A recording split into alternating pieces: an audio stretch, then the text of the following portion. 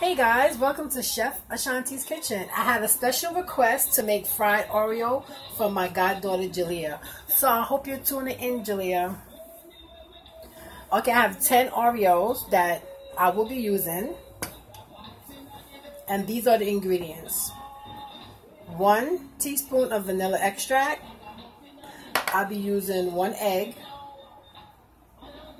and one cup of whole milk.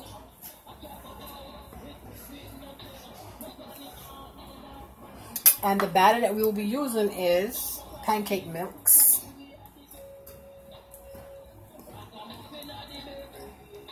What you want is a nice smooth texture, not too thick and not too watery. So we're going to mix this so everything is combined. This is a cup and a half of the pancake mix. And this is how you want your texture to be. So we're going to begin with the frying process. We're going to start adding an Oreo to our batter. You're just going to take the fork and flip them over.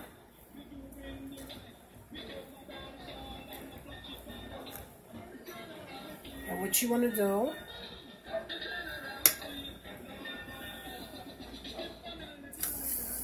drop them in very slowly. So I'm going to continue to drop the Oreos in and let it brown for like two minutes on each side.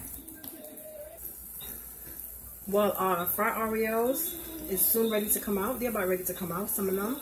And this is what you want your fried Oreo to look like. And there you guys go. Fried Oreo. Quick and simple. Thank you for joining me. Till next time.